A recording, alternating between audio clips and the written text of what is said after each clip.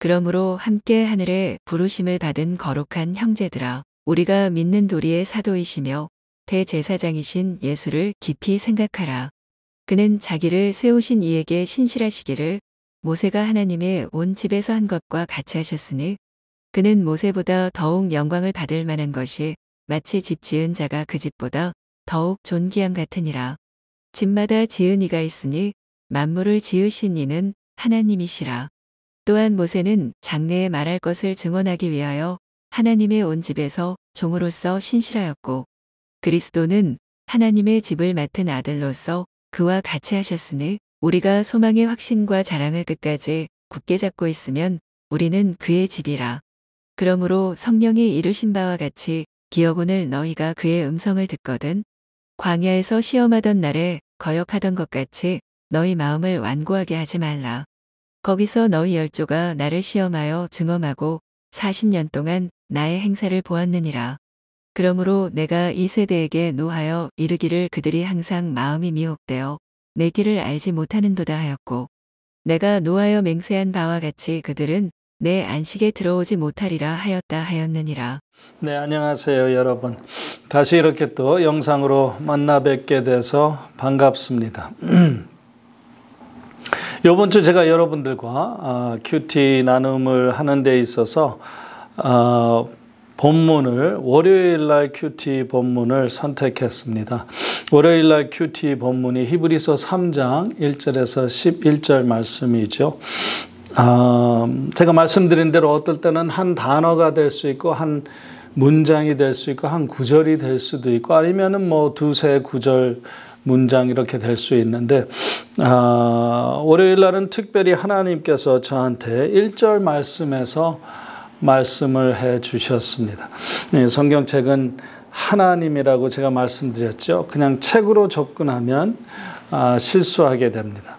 아, 다른 책은 몰라도 이 책만큼은 이 성경책만큼은 인격체를 대한다고 생각하고 아, 그렇게 성경을 표시해야 됩니다. 그리고 하나님께 하나님 제가 당신에게 나의 마음, 생각 모든 것을 드립니다.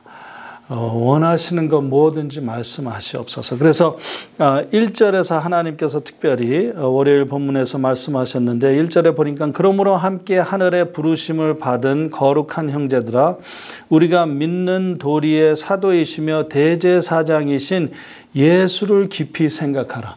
바로 이 표현 예수를 깊이 생각하라는 표현에서 하나님께서 말씀을 주셨습니다.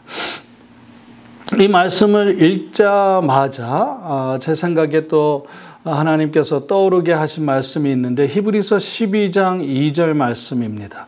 아, 여긴 3장이고 12장에 가면은 아, 비슷한 표현이 있습니다. 거기는 히브리서 저자가 12장 2절에 이렇게 말합니다. 믿음의 주요 또 온전하게 하시는 이인 예수를 바라보자.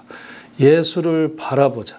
제가 갖고 있는 영어 성경에서는 표현이 거진 비슷합니다. 여기 3장 1절에 예수를 깊이 생각하라라는 표현은 fix your thoughts on Jesus. 그리고 히브리서, 히브리서 12장 2절 말씀에는 let us fix our eyes on Jesus. 그래서 우리들의 시선과 우리들의 생각을 예수에게 고정시키라는 그러한 아, 말입니다. 그렇습니다. 이 내 머리에 내가 무엇을 생각하느냐가 아, 가장 중요하고 어, 엄격히 따지면 이 생각 중에 영적 전쟁이 이루어지고 있습니다. 아, 마귀의 생각, 하나님의 생각이 늘 우리들의 생각을 두고 싸우고 있죠. 아, 그런데 중요한 건 뭐냐면은 저와 여러분들이 내가 무슨 생각을 아, 하고 싶든지 내가 하고 싶은 생각을 할 수 있는 선택권이 있다라는 거예요. 그 능력이 있다라는 거예요. 어느 누구도 나의 몸을 뭐 감옥에 가둘 수 있고 뭐 어떻게 할 수는 있지만 나의 생각을 조정할 수는 없어요. 내가 생각은 나의 자유에 달려 있는 거죠. 그래서 감옥살이를 하면서도 자인이 되면서도 여기에 있으면서도 차 안에 있으면서도 뭐 사람들을 만나면서도 내가 무슨 생각을 할 거냐는 내가 선택할 아, 그러한 권한이 있다라는 거죠. 아, 그런데 선택을 무슨 선택을 하냐면은 예수를 선택하라는 거예요. 주야로 음, 제 아, 방에 보면은 그러한 구절이 벽에 달려 있는데 아, Pray without ceasing. 쉬지 말고 기도하라. 데살로니가 전서 5장 17절 말씀이죠. 그래서 늘 생각을 예수를 생각하라라는 거죠. 아, 그러니까 예수를 생각하지 않고 다른 것을 생각할 수도 있죠.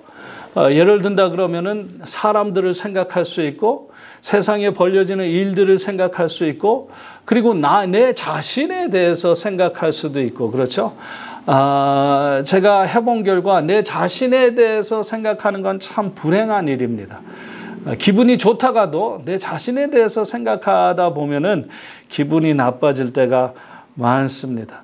기분이 좋다가도 문제, 어려운 것들, 힘든 것들을 생각하다 보면 갑자기 예, 기분이 안 좋아질 때가 있습니다. 그게 무슨 말이냐면은 우리들의 기분은 우리들의 생각에 좌우된다라는 거예요. 그렇죠?